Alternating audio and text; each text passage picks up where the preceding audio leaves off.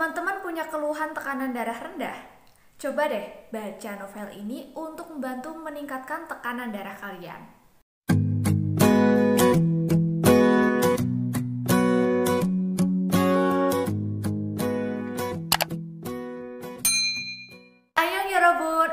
Back to my channel. Di video kali ini aku akan bahas salah satu novel karya Akiyoshi Rikaku Sensei berjudul Absolute Justice yang sukses bikin aku emosi sepanjang membacanya. Ini juga pertama kalinya aku membaca novel karya beliau. Jadi gimana impresi pertamaku? Tonton terus sampai habis ya. Sinopsis di cerita ini cukup singkat, hanya satu kalimat tapi berhasil membuat pembaca penasaran sebenarnya apa cerita yang diangkat.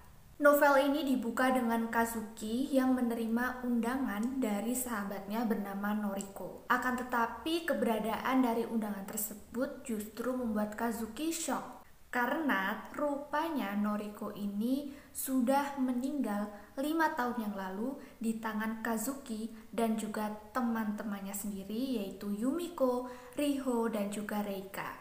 Kok bisa Noriko ini dihabisi oleh sahabat-sahabatnya? Jadi sesuai dengan judulnya Absolute Justice, yaitu keadilan atau kebenaran yang mutlak. Noriko dikisahkan sebagai seorang penyelamat dan juga sekaligus penegak kebenaran oleh sahabat-sahabatnya karena dia banyak menolong sahabat-sahabatnya itu. Tapi siapa sangka peran sebagai penegak kebenaran itu lama-kelamaan justru membawa sentimen tersendiri bagi sahabat-sahabatnya sampai mereka ini tega menghabisi Noriko. Lalu siapa pengirim undangan tersebut jika memang Noriko ini sudah meninggal lima tahun yang lalu? Dan apa pula maksud sebenarnya dari undangan tersebut? Apakah Noriko ini memang benar-benar masih hidup? Kemudian Apakah keempat sahabat yang menghabisinya itu juga mendapatkan ganjarannya?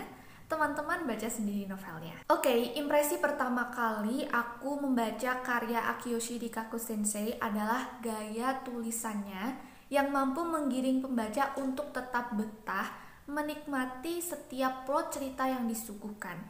Karena aku sama sekali nggak ngerasa bosan ketika baca dan narasinya pun nggak bikin ngantuk. Novel ini juga sukses membuat aku emosi setiap membacanya karena tokoh Noriko di sini. Aku tuh heran ya, kok ada gitu manusia-manusia semacam Noriko di dunia ini? Ya benar sih, apa yang Noriko lakukan itu memang sesuai dengan peraturan maupun kaidah-kaidah yang berlaku. Tapi kesaklekan dan obsesinya terhadap peraturan maupun kebenaran menurut aku tuh sudah over banget Bahkan hal-hal kecil dan sepele pun ditanggapi Noriko dengan sangat serius. Contohnya nih ya, mau ngecharge HP di kantor aja, sama Noriko langsung dituduh sebagai penyalahgunaan fasilitas. Kemudian ketika ballpoint perusahaan itu tidak sengaja terbawa pulang, itu langsung dituduh sebagai perampasan hak milik.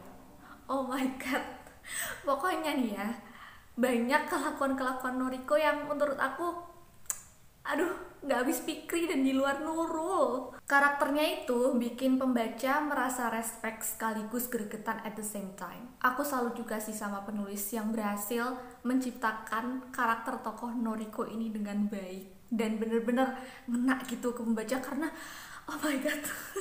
Bikin emosi banget beneran. Aku tahu banget sih dan paham gimana perasaan keempat sahabatnya Noriko. Meskipun aku juga tidak membenarkan tindakan mereka untuk menghabisi Noriko ya. Tapi lagi-lagi Noriko ini emang sengeselin itu.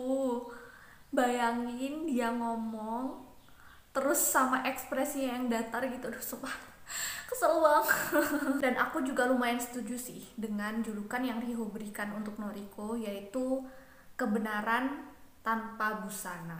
Karena kalau dipikir-pikir ya, sebuah peraturan ataupun kebenaran itu kan nggak bisa langsung ditelan mentah-mentah ya. Harus juga dilandasi maupun diimbangi dengan aspek-aspek sosial yang lain gitu sehingga nanti luarannya akan menjadi sebuah peraturan keadilan maupun kebenaran yang bijak.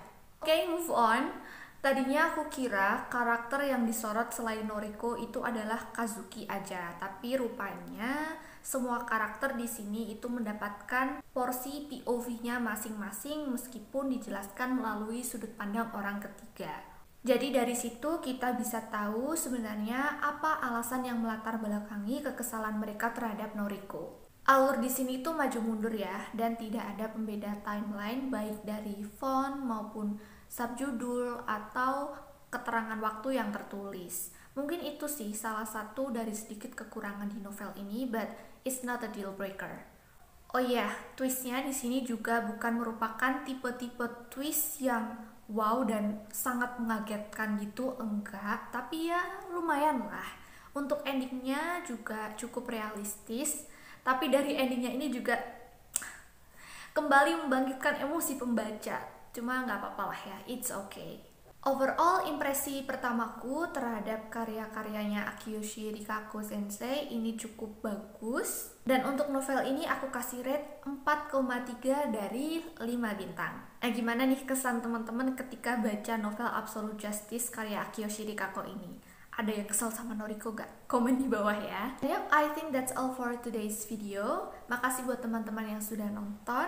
Kalau teman-teman suka video seperti ini, jangan lupa untuk klik like-nya subscribe buat yang belum subscribe, nyalain lonceng notifikasinya supaya teman-teman tidak ketinggalan video baru dari aku. Dan kalau teman-teman pengen request ataupun diskusi, yuk langsung aja di kolom komen bawah. Sampai jumpa di video-video aku selanjutnya.